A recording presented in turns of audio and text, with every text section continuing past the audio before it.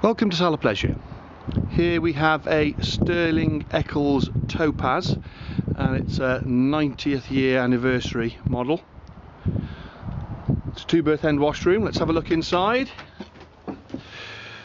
So as we step in, as you can see in the kitchen area, we've got a microwave up at eye level, uh, a small Heki roof light for ventilation to the kitchen. And then the cooker has got three gas rings, and one electric ring with a separate grill and oven below. And to the left we've got the sink. Underneath the sink pull out wire racking drawers for um, cutlery and for kitchen items. And then the uh, Thetford digital fridge to the side. Work surface over on the opposite side above the fire.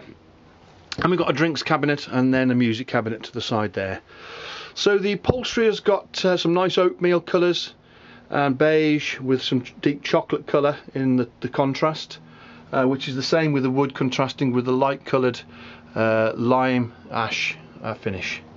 There's a large Heki roof light.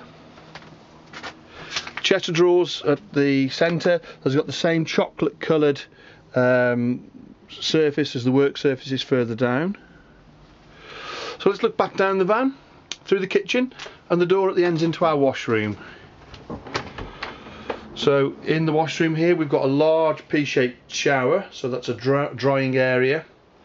Uh, and then to the side we've got the Thetford uh, electric shower uh, toilet and wash hand basin, and then a large wardrobe with two drawers below.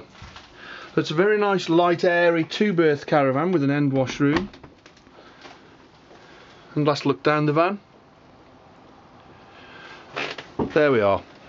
We have a Sterling Eccles Topaz.